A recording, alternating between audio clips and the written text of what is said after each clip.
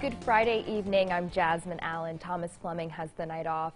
Governor Cuomo's emergency powers are a hot topic of discussion in Albany, and legislation put up by Democratic leadership is expected to pass through the state legislature as early as tomorrow.